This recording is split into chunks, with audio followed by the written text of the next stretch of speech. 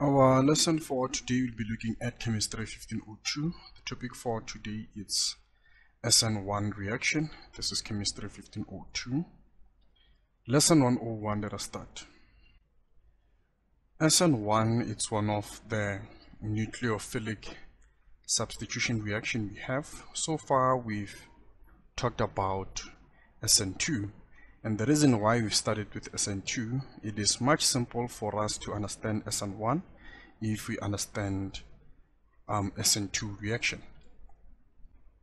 Towards the end of this lesson series based on nucleophilic substitution, we will be looking at comparison. But as we continue with this SN1 lesson series, we'll also relate our concepts with SN2 mechanism.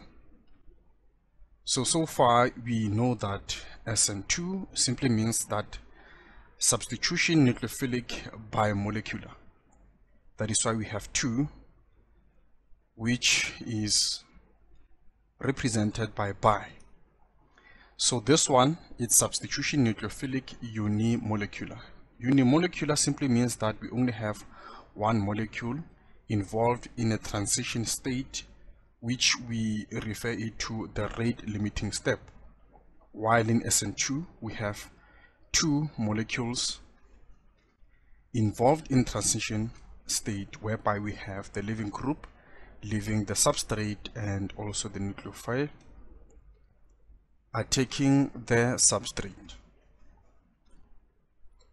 So one of the important things you should know about SN1 nucleophilic substitution is that it involves two steps, whereby SN2 simply involves one step.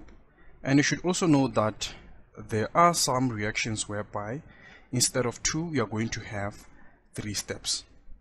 Looking at examples, we will explain this in detail.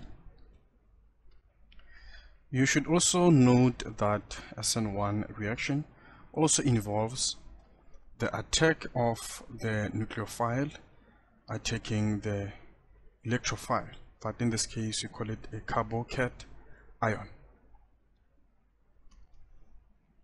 and if you can remember relating this to SN2 reaction we have this trend here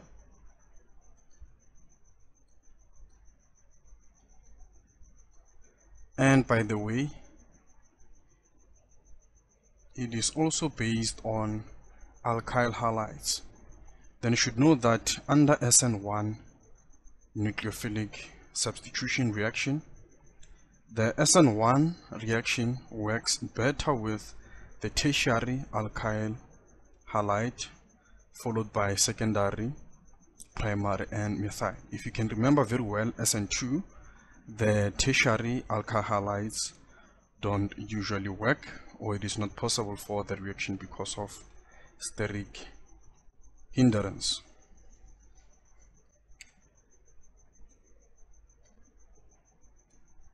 Let us go ahead and look at SN1 mechanism.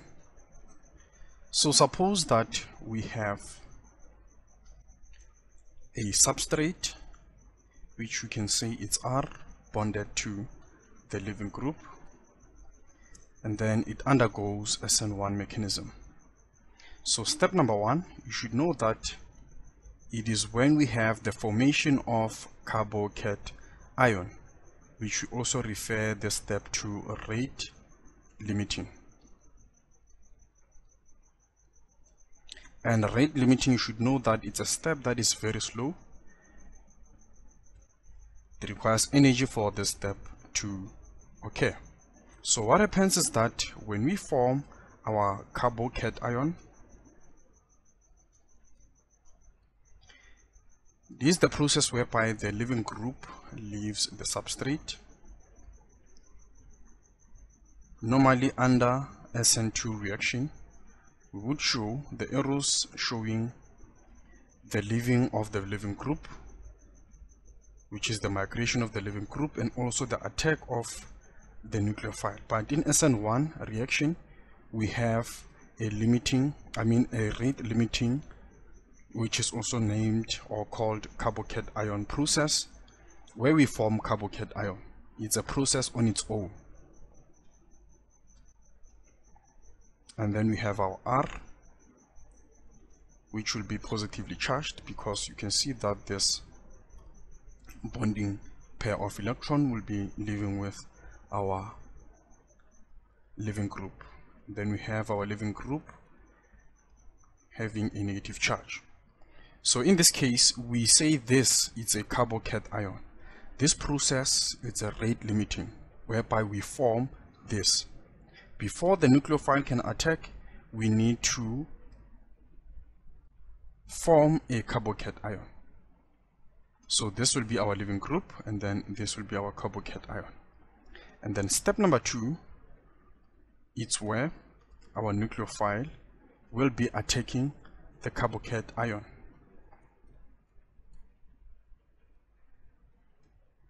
Our carbocation.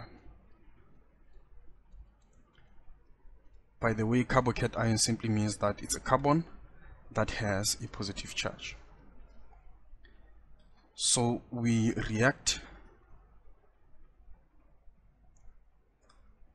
with our nucleophile. This is where the nucleophile attacks the carbocation and then to form our product. And then remember I said if we have three steps, it is when the nucleophile is basically water. It happens that our nucleophile can be water or an alcohol.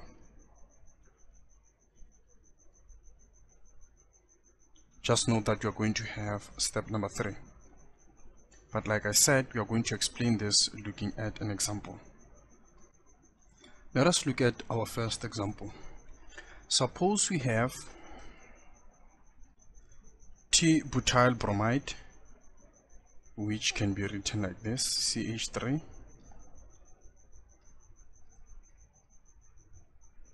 C bonded with bromine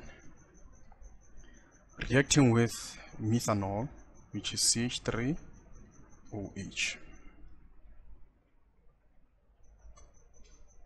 then we can also represent this using our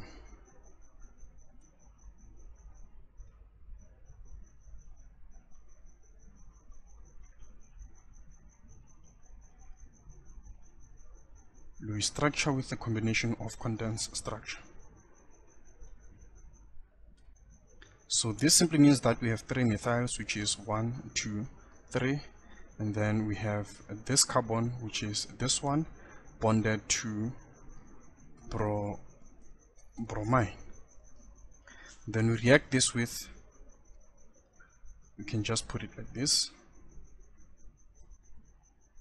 OH so to show the mechanism for this reaction by the way this is SN1 so remember that the first step we should show the rate limiting step or the carbocation ion formation. Step number one let us look at our substrate.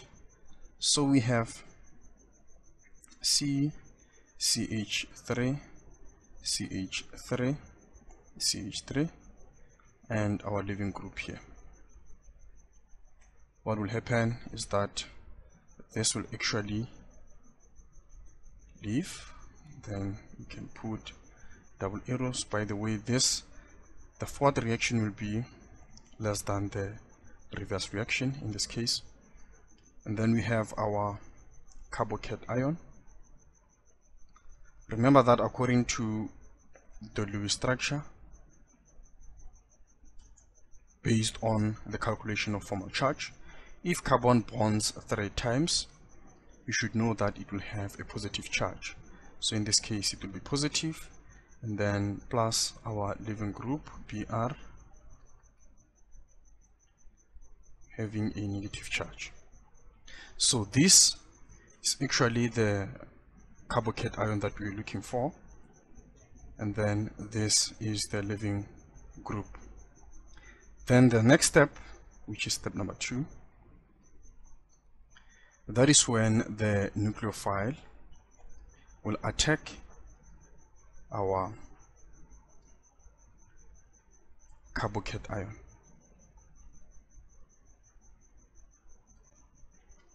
since it is positive we are going to have our nucleophile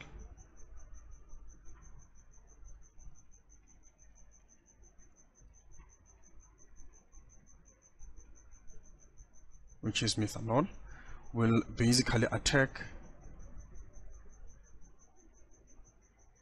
our carbocation in this case the forward reaction is basically greater than the reverse reaction. And then we are going to have CH3 CH3 and CH3 and then it's a bond between oxygen and we have our CH3 make sure you use a different color for the second part of the alcohol. CH3 and then we have our H here. And then we are going to have lone pairs here. Now, reversing to the Lewis diagram also, remember that oxygen is a divalent element, it bonds two times. If it bonds three times, it will have a positive charge. So in this case, you can see it has three bonds with two electrons which are lone pairs. Remember my statement I said if it happens that our nucleophile is water or alcohol. In this case, methanol is an alcohol. This is an alcohol. So in this case, we are going to move to the next step, which is step number three. Step number three, we normally say it's a loss of proton to solvent or deprotonation. How do we go about doing the deprotonation. It is normally referred to final step. Let us go back to our product here. How do we deprotonate? We take the very same product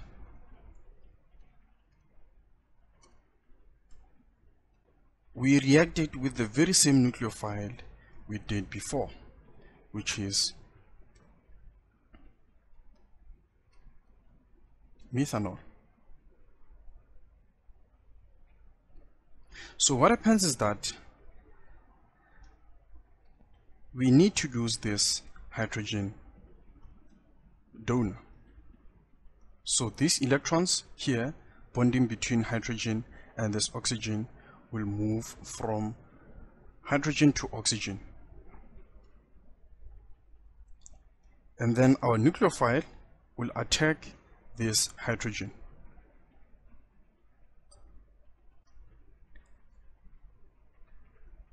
The forward and the reverse will be equal and then let us write this whereby it has lost our hydrogen then we are going to have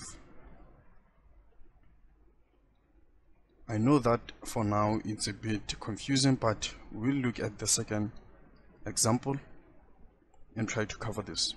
So we are going to have oxygen and then those two electrons which they came from the bonding between oxygen and hydrogen will actually be here. Then as you can see that oxygen it has two lone pairs and two bonding pairs. Then it will have no negative or positive. So we have CH3 and then plus.